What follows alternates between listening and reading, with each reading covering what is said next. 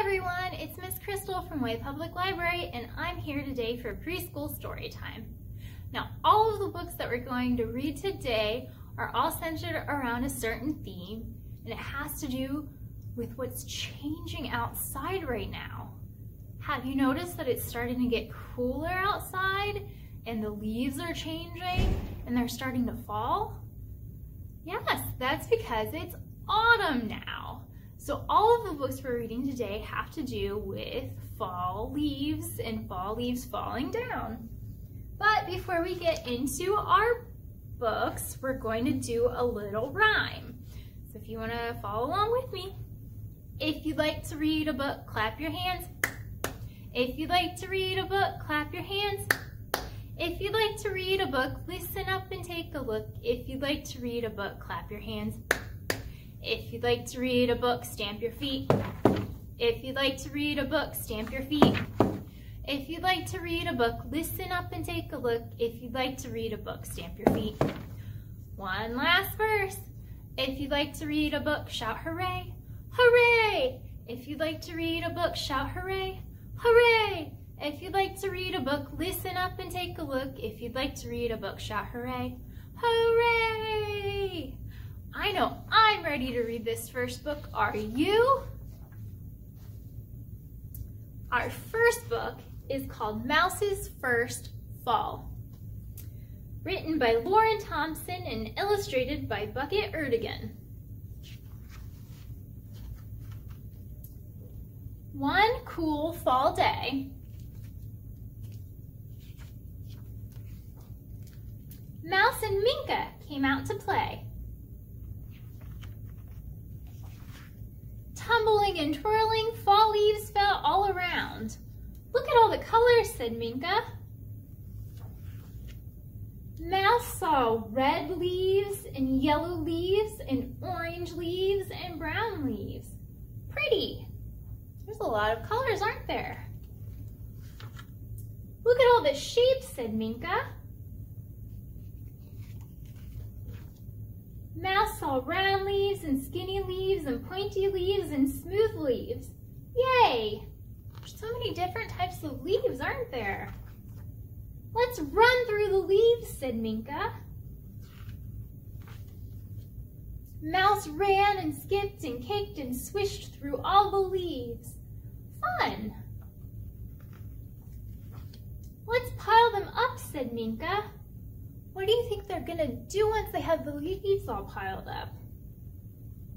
Mouse piled the leaves high. One leaf, two leaves, three leaves, lots of leaves. Yippee! What a big pile, said Minka. Let's jump in. Mouse leapt and jumped and flopped and rolled into the leaves. Whee! Hiding, called Minka. Can you find me? Mouse peeked and poked and peered between the leaves. Where could Minka be?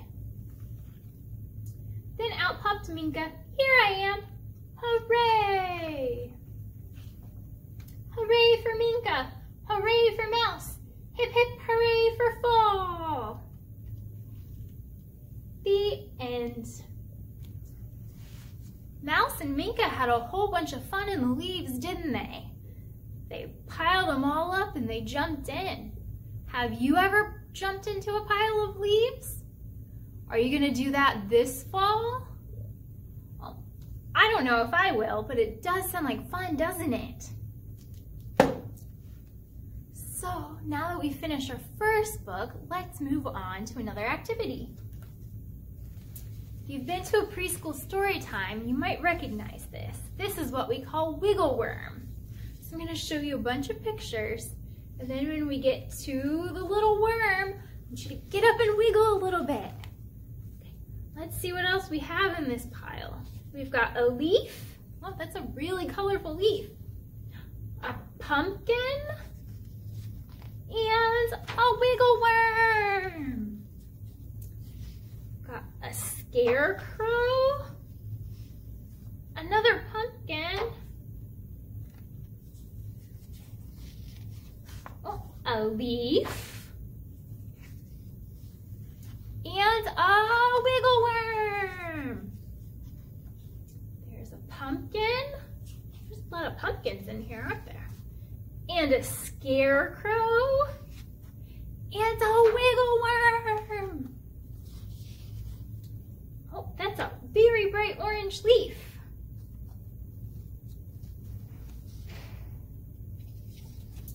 Another leaf. And a scarecrow. Do you think there's another worm coming? And a wiggle worm. Got a jack-o'-lantern. And a wiggle worm. And we've got a leaf. The end. We're all done with that game. And that means we can go into our next book. I think this one's really cute. It's about a fox named Fletcher. Called Fletcher and the Falling Leaves by Julia Rawlinson, pictures by Tiphanie Beeke.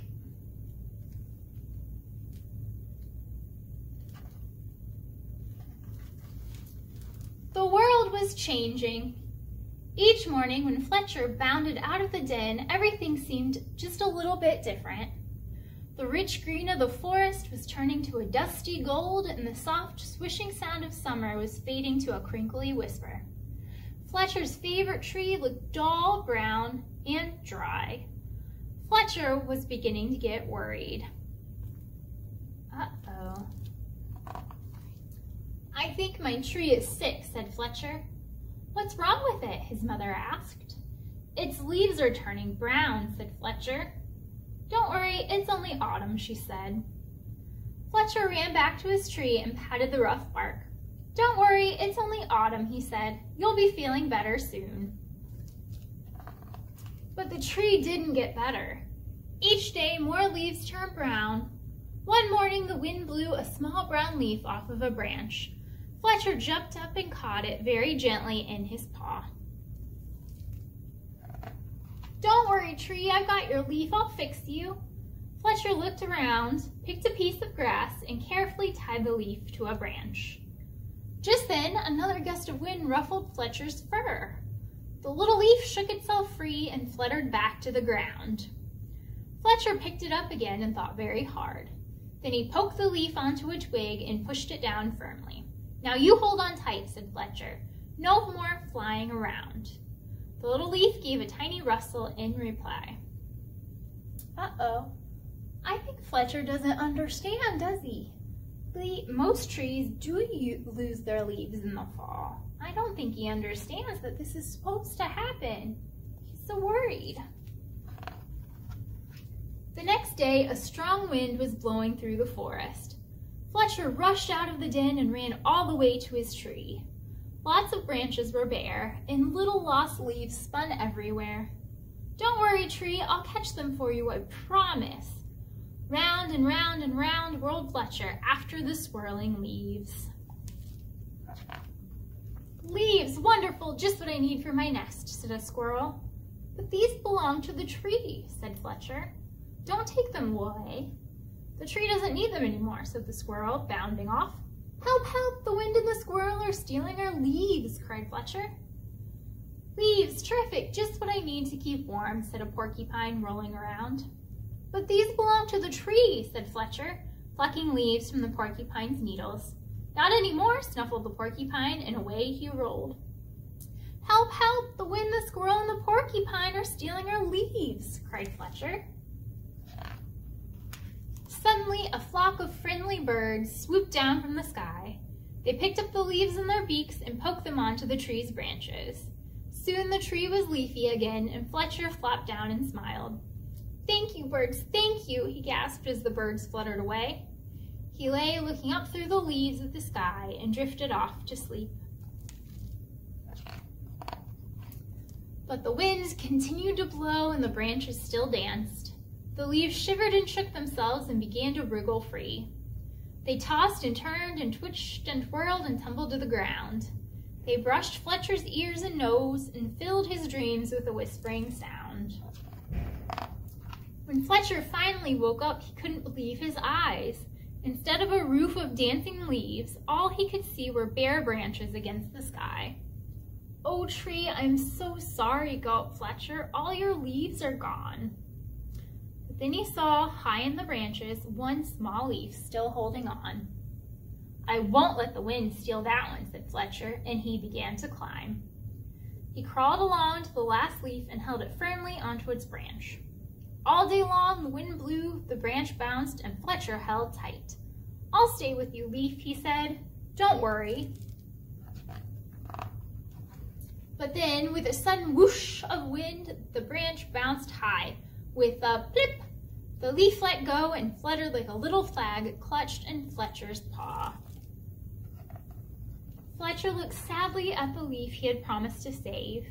He carried it carefully down the tree and back to the den. He made a cozy little bed for it and gently tucked it in. But all night long he could only think of his tree, all on its own. At dawn, Fletcher tiptoed outside. The wind had finally stopped blowing and the air was cold. The moon still hung in the clear sky and pale stars glimmered. As he came to his favorite tree, Fletcher saw a magical sight. The tree was hung with a thousand icicles shining silver in the early light.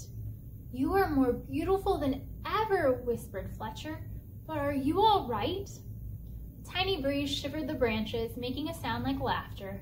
In the light of the in, in the light of the rising sun, the sparkling branches nodded. Fletcher gave his tree a hug. Then he went back to the den for a nice, warm breakfast. The end. Little Fletcher was just so worried about his tree, wasn't he? But it ended up all right in the end, right? That's what's supposed to happen to trees in the fall. Well, most trees. Some, tree, some trees do keep their leaves. Now before we do our last book, I want to do a little rhyme. It's a rhyme all about falling leaves. We're gonna have five, one, two, three, four, five little leaves. So five little leaves wanted to play and were dancing about on a tree one day. The wind came blowing through the town and one little leaf went tumbling down.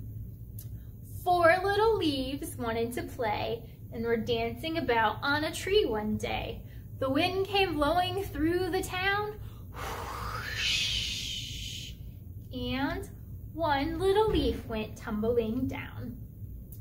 Three little leaves wanted to play and were dancing about on a tree one day. The wind came blowing through the town, and one little leaf went tumbling down. Two little leaves wanted to play and were dancing about on a tree one day. The wind came blowing through the town, and one little leaf came tumbling down. One little leaf wanted to play It danced about on a tree one day. The wind came blowing through the town, and the last little leaf went tumbling down. We got rid of all of the leaves. They all fell down. And you know what that means? That means it's time for one last book. And this book is really silly. It's called Fall is Not Easy, written and illustrated by Marty Kelley.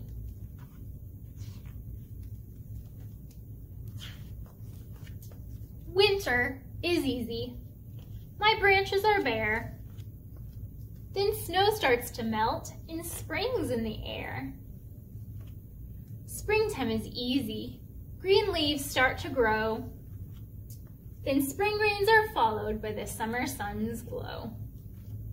Summer is easy, just bask in the sun. Then breezes blow cooler and summer is done. Fall is not easy. It's time for a change. Green leaves turn colors, but mine all look strange. That isn't right. That's just all wrong. My colors won't go where I think they belong. These are some of the strangest leaves I've ever seen. Oh, what's that? My leaves should be fire, all brilliant and bright. And I try and I try, but they won't come out right.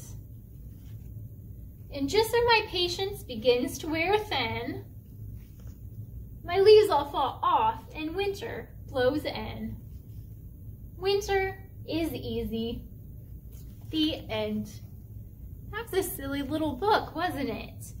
I mean, we had leaves that turned into a pumpkin and a hamburger. There are just some really silly color combinations, weren't there? I thought that was a fun book. Now, one last thing we're going to talk about. Right now, we are doing what we call Craft of the Week.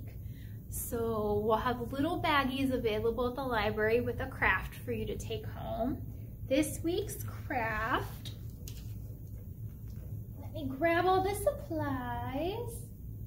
In the baggie, you'll find a little leaf,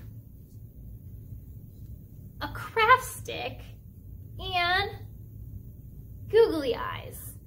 So what you'll need at home is some glue and something to color your leaf. So you can use colored pencils, crayons, markers, whatever your grown-up tells you you're allowed to use at home, you can use to color it. I used crayons. I made my leaf all colorful, and then I glued on the eyeballs, and I glued the little leaf on the stick, and now I have a little smiley, happy leaf puppet. So if you are interested in this craft, the basic materials will be available at the library from September 23rd through the 30th. So you can pick those up to do at home.